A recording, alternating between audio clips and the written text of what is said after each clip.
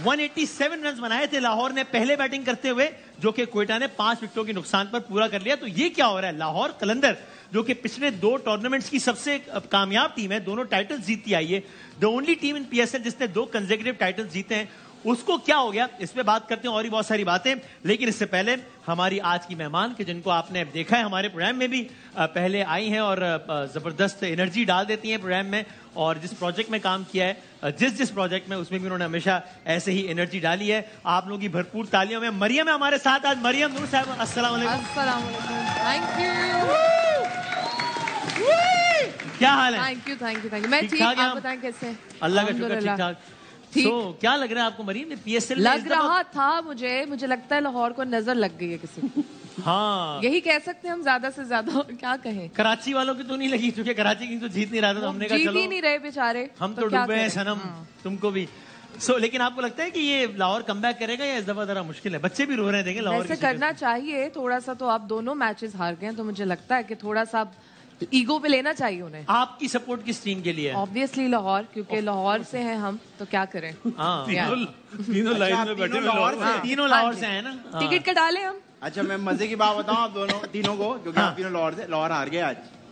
अच्छा वो बता दिया आपने। बिल्कुल। तो ये बासित भाई जब पहला मैच लाहौर हारा आपने कहा कि राशिद खान का ना होना बहुत बड़ा ब्लो है। ये इतना बड़ा ब्लो है कि लाहौर का मतलब एक गेम चेंजर हो गया ये लाहौर के अगेंस्ट राशिद खान का ना होना।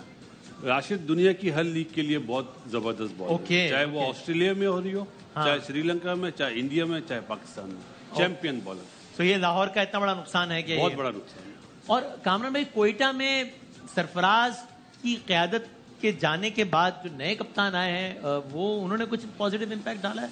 देखिए डेफिनेटली नए कप्तान ने पॉजिटिव इम्पैक्ट डाला ज़रूर है, लेकिन सबसे अच्छी चीज़ ये है कि प्रॉपर बैटिंग लाइनअप सही और प्रॉपर पाँच बॉलर्स के साथ वो खेले जो टीमें ऐसे करेंगी वो जीतेंगी। 190 भी चेस करेंगी 200 रन भी बनाएँगे।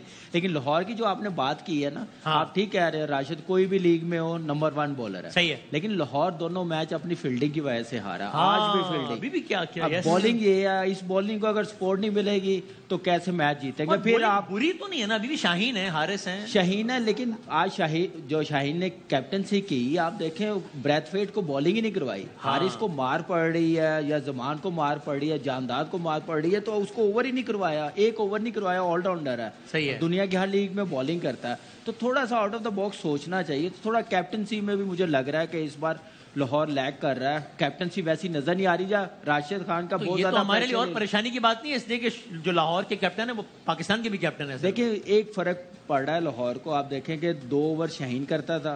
दो ओवर जुमान कर रहा कर रहा था। अब इनका पैनिक बटन ऑन हुआ हुआ है। आज हारिस रऊफ से नया बॉल करवा हाँ, लिया। हाँ, हाँ. पांचवा ओवर लास्ट दो सीज़न से हारिस रऊफ करता था छठा ओवर करता था राशिद ये इनको एज मिलता था। ये चीज़ें चल रही हैं थोड़ा कंफ्यूज हुए हैं। सोचे बेसिक्स पे जाएँ।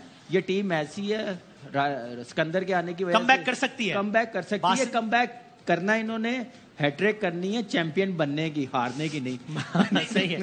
बासित आप इसे बताएँ चूँकि हैट्रिक बोलिए तो मैं, मैं मुझे लगता है इस बार मुश्किल। आप आप पहले दिन से कह रहे हैं कि लाहौर कलंदर का नहीं है सीज़न हाँ। अब इस इस पे बताएँ चूँकि लाहौर कलंदर के कप्तान शाहीन आफरीदी पाकिस्तान क्रिकेट टीम के कप्तान है और अभी कितना चार महीने बाद वर्ल्ड कप लगा हुआ है। टी ट्वेंटी का। तो ये कोई परेशान कन बात तो नहीं है अभी हम नहीं इतना अर्ली ना रिज़ल्ट ड्रॉ करें हम। देखें अभी तो नए चेयरमैन साहब आए।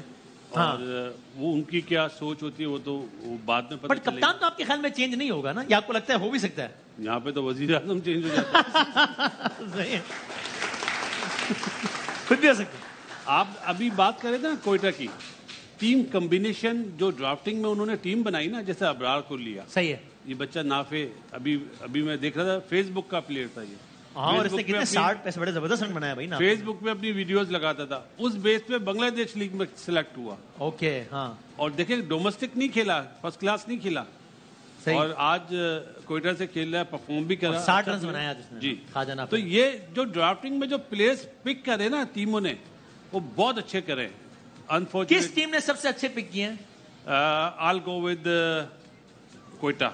और किस टीम ने आई एम सॉरी लेकिन सबसे बुरे पिक किए बुरे नहीं मतलब चलो बुरे कोई और लफ्ज कर लें। कॉम्बिनेशन के हिसाब से आइडियल पिक नहीं की किसने? मेरा ख्याल है कराची ने। कराची की पिक इतनी अच्छी नहीं थी। आपके एयर ख्याल की मैनेजमेंट से मैं चाहूँगा कि वो इसका ज़रूर नोटिस ले। देखें जरा इसको वो देख चुके होंगे हम। देख चुके हैं। Half check card.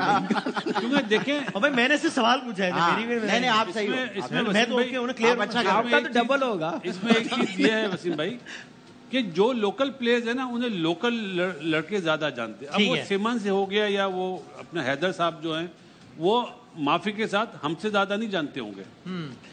ठीक है। सो so, अब